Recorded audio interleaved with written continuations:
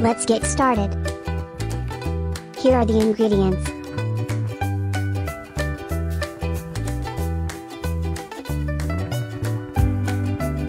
First, slice your fish to look like this and remove the scales if there are any, just like this.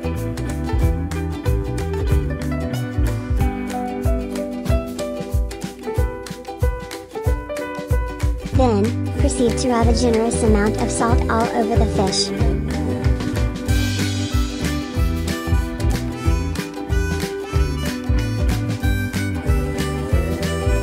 Afterwards, stuff your fish with minced garlic.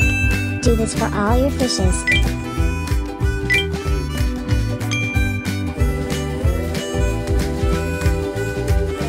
Then, once you are done with the garlic, stuff your fish with your chopped ginger. Don't forget to put it in between the slits as well.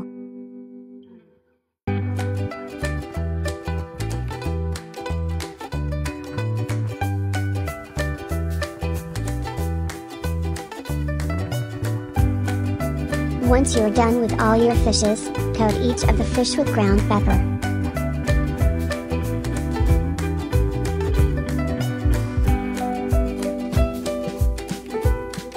After coating them in pepper, it is time to steam.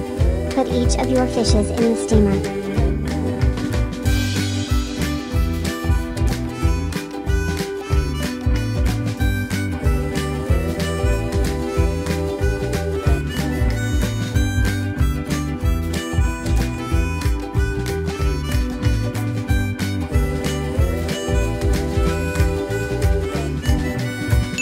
We placed ours like this so the fishes would fit properly and cook evenly.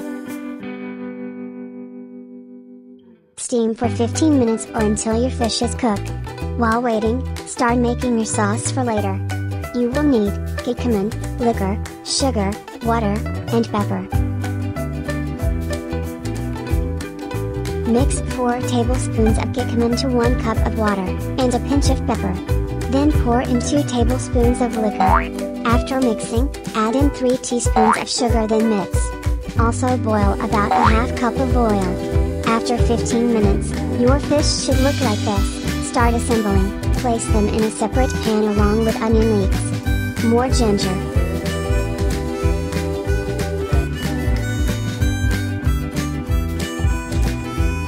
And Chinese celery or canchai. Also add in some chopped chilies and some more minced garlic. Once you are done assembling, pour in the sauce from earlier all around the fish and vegetables.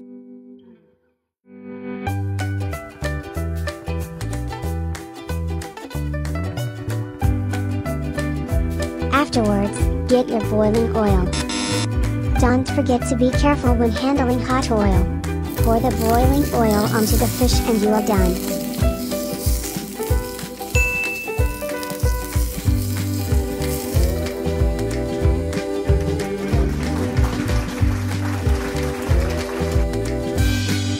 That is how you make our steamed tilapia.